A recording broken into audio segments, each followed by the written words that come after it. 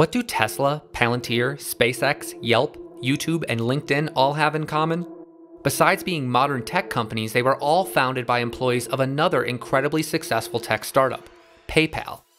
The names of these companies are so ubiquitous that it's challenging to imagine our online world without these services. The 13 members of the Mafia together form the richest group of men to emerge from Silicon Valley, with a total net worth of billions of dollars. With so many successful businessmen getting their start at PayPal, what was so special about the company that projected these men into unbelievable riches? Let's take a deep dive into the history of the company.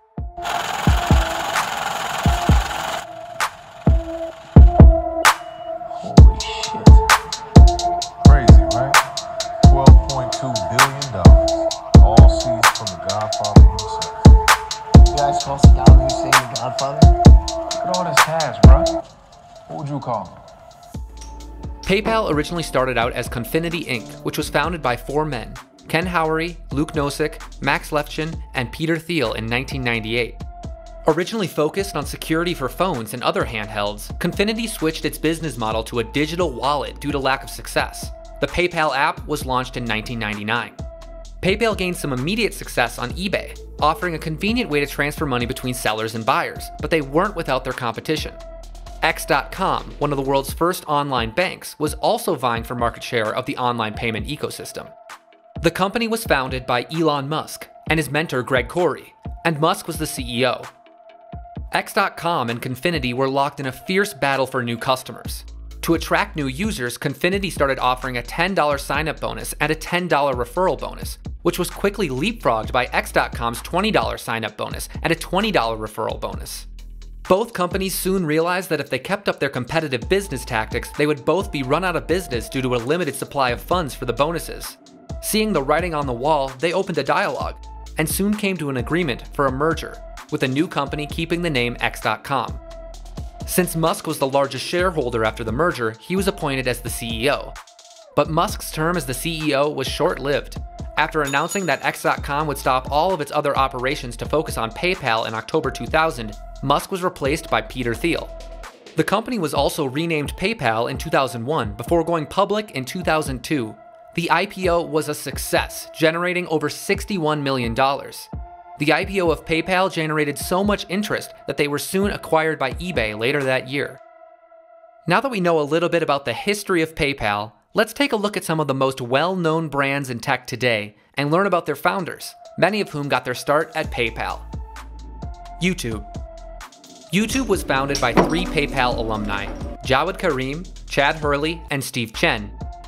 Karim was a software engineer who focused on building PayPal's anti fraud system while he was there. He was greatly involved in the early stages of YouTube, but left when he decided to continue his studies at Stanford. Chad Hurley was the first CEO of YouTube, and during his time at PayPal, he is most notably recognized as the designer of the original PayPal logo. Steve Chen is well known as having funded the early days of YouTube when the company racked up huge debts on his personal credit cards. Chen was instrumental in the final sale of YouTube to Google, which sold for $1.65 billion just 20 months after the company got its start. That great deal left Chen with $326 million in Google stock. Hurley made out with $345.6 million and stayed on as YouTube CEO after the purchase. Karim received a smaller share due to the fact that he left the company to study, but he is still sitting pretty at a cool $64.6 million. Yelp. Yelp was born out of the minds of two PayPal alumni who didn't walk away from the sale to eBay with large earnings. Jeremy Stoppelman and Russell Simmons were both developing ideas in the incubator of PayPal's former CTO, Max Levchin. It was there that they came up with the idea for Yelp. Stoppelman reportedly was inspired by the fact that he had a challenging time finding good doctor recommendations. Unlike YouTube, Yelp rejected a buyout from Google, reportedly after Steve Jobs convinced Stoppelman not to take the deal. Stoppelman's fortune is estimated at somewhere between 111 and 222 million dollars, while it's near impossible to find the net worth of his business partner, Simmons. Yammer. Yammer is an enterprise social networking service originally developed by former PayPal Chief Operating Officer David O. Sacks. It was developed by him as an internal project when he was working at a different company he founded called Geni.com. Sacks launched the product as an independent service when he showcased it at TechCrunch 50, and from there the project grew to be a huge service. Yammer was eventually purchased by Microsoft for $1.2 billion in 2012. But Yammer and Geni.com weren't the only achievements of Sacks. He also produced and financed the 2005 movie Thank You for Smoking, which made $39 million worldwide. I get paid to talk.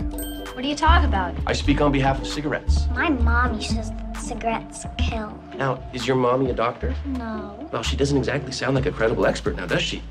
How much is Sacks worth after all the success? Unfortunately for us, he hasn't disclosed. LinkedIn.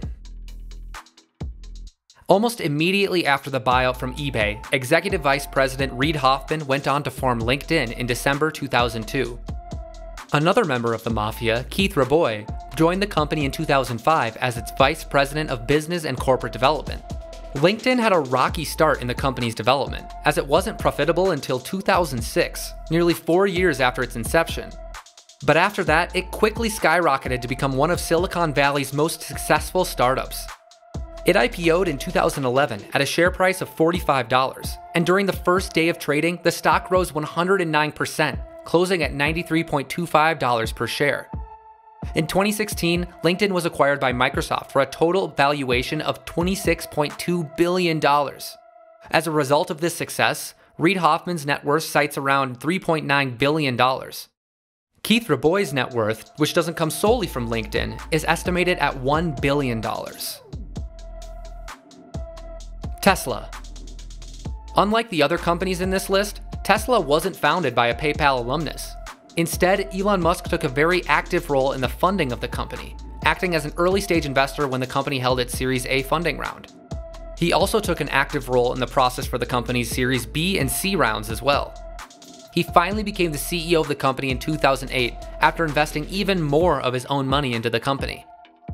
Musk has reportedly said that he didn't want to be the CEO of Tesla. We'll get into Musk's net worth after we talk about another great company that he's been involved in SpaceX.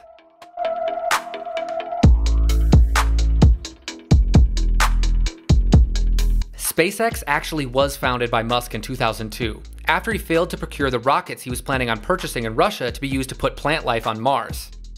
After he couldn't find any affordable spacecraft, he realized he'd have to do it himself by starting a company that could produce them in an affordable way. The company has grown rapidly. In 18 years, the company sits at nearly 8,000 employees and has had over 100 launches of the rockets that they've developed.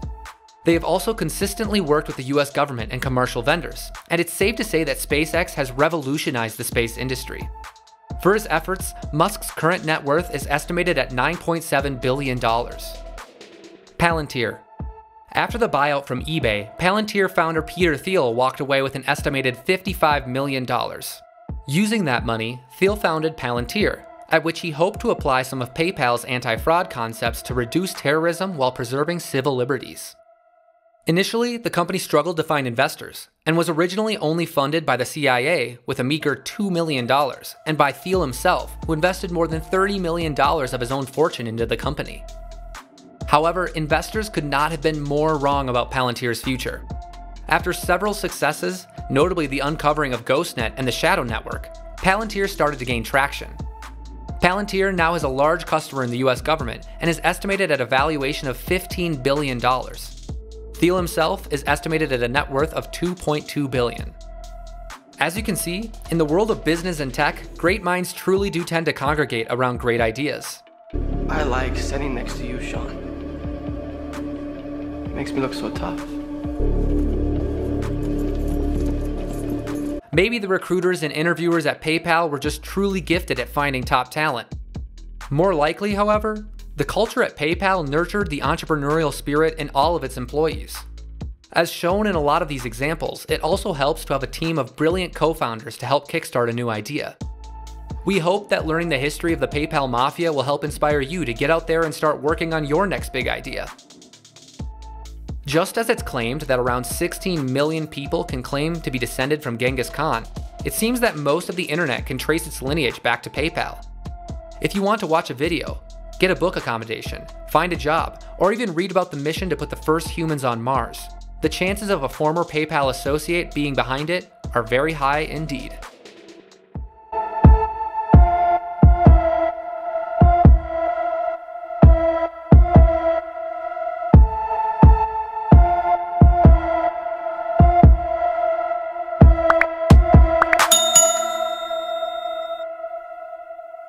Hey guys, hope you enjoyed the video. We make business related video essays like this every week, so if you're interested in entrepreneurship, business, and startups, like this video and subscribe to this channel.